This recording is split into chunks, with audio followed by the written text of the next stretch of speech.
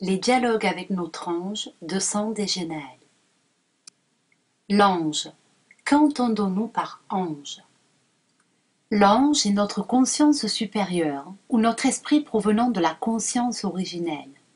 Il est cette présence qui représente la partie la plus profonde de notre subconscient connectée au champ d'information de l'univers. Il pourrait également être orthographié en je puisqu'à quelque exception près, cette présence conscience réside en chacun de nous et anime tout humain. Cette conscience, plus intelligente et plus développée que notre conscience humaine primaire, peut être également dénommée supraconscience ou soi supérieure. Tout comme notre intelligence humaine, elle est porteuse des deux formes d'énergie qui régissent l'univers, celle du service de soi, SDS, et celle du service d'autrui, SDA. C'est pourquoi l'ange, au service de soi ou au service de l'ombre, qu'il soit SDS positif ou SDS négatif, est aussi nommé démon ou prédateur, puisque son rôle est d'inverser le sens de l'évolution de la vie ou de la laisser stagner. Il est un démon ou un monde à l'envers.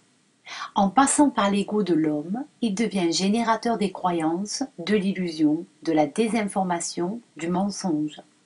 Il est responsable de l'involution de la conscience humaine et de l'entropie du monde.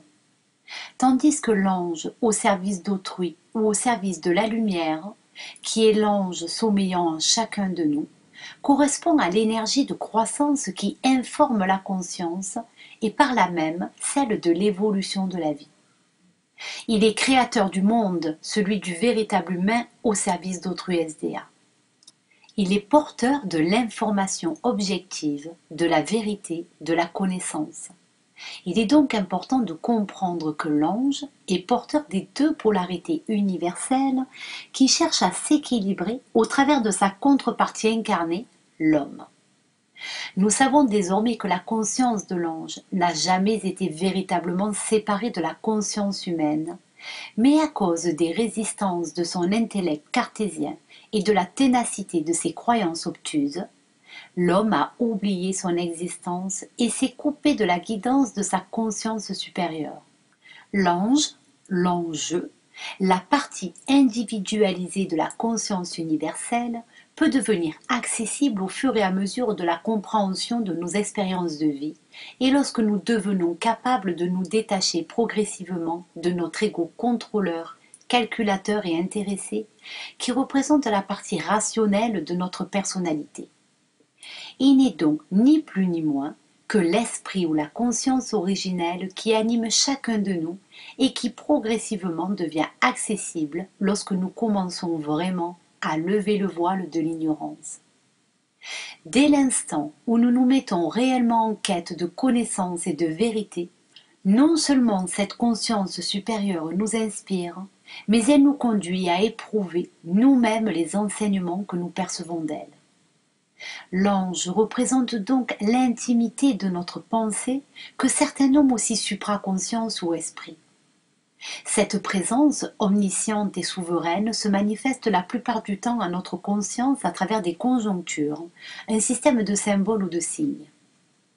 L'ange correspond donc à notre façon personnelle de traduire leur sémiotique, autrement dit notre manière particulière d'interpréter la relation entre certaines choses, événements, personnes ou autres éléments auxquels nous pouvons attribuer une symbolique et que nous pouvons percevoir dans certaines circonstances.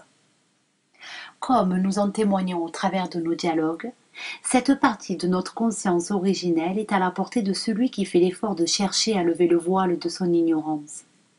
En œuvrant sincèrement à acquérir la connaissance et à se libérer des schémas de croyances limitantes propres à sa dimension d'incarnation actuelle, tout individu, quel qu'il soit, a la possibilité de libérer son âme du cycle karmique duel pour devenir non plus victime de la fatalité dans son quotidien, mais entièrement créateur du bonheur, de l'abondance et de la paix dans son propre univers. Comment apprendre des dialogues avec notre ange? Les textes que nous avons écrits font suite à des compréhensions que nous avons manifestement été guidés à intégrer. Vous y remarquerez probablement une progression dans la pertinence de nos conversations intérieures.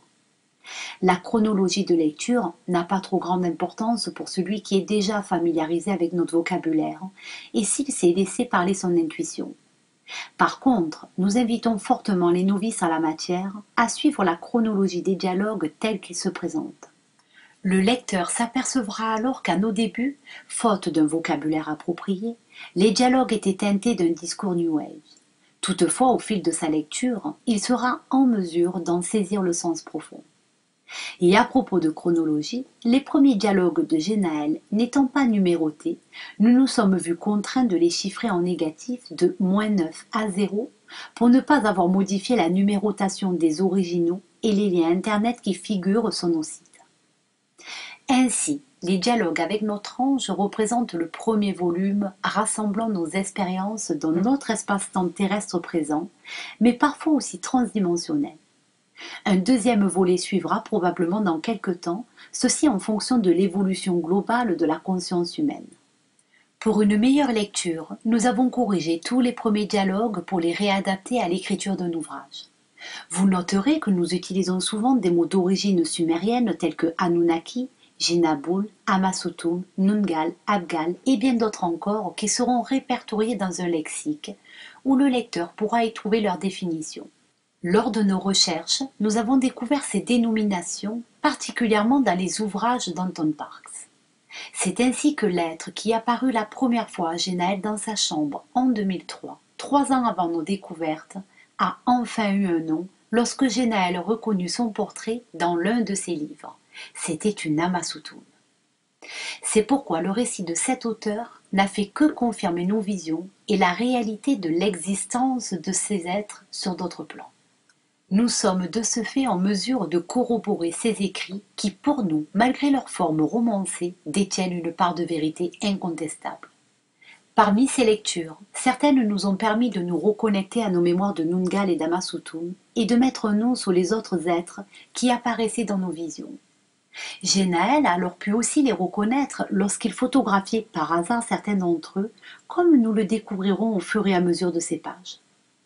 La première partie des dialogues sont rédigés par Genaël en solo. Ils étaient donc écrits dans un style plutôt masculin. Tandis que la deuxième partie découle de notre collaboration qui nous a permis de donner une tournure plus féminisée et plus complète au dialogue, pour au fur et à mesure plonger dans les méandres de notre relation de couple. Ce plongeon nous a permis de procéder à un décortiquage plus approfondi du fonctionnement de l'émotionnel humain. Pour finir, nous devons avertir le lecteur d'une erreur de sémantique que nous répétons souvent. Nous avions confondu densité et dimension puisque nous-mêmes, toujours en quête d'information, avions repéré et utilisé le mot dimension parce qu'il figurait dans des textes qui nous avaient été proposés sur Internet. Il nous semblait approprié pour décrire les échelons des différents mondes dont nous parlions. Puis un jour, dans une communication des Cassiopéens, nous avons découvert la signification du mot densité. Sa définition nous paraissait plus adéquate à ce que nous voulions exprimer dans nos partages. Nous l'avions alors utilisé dans nos textes et vous en trouverez sa définition dans le lexique. Nous invitons donc le lecteur à corriger de lui-même cette confusion au fil de sa lecture. Alors voici les premières causeries avec l'ange.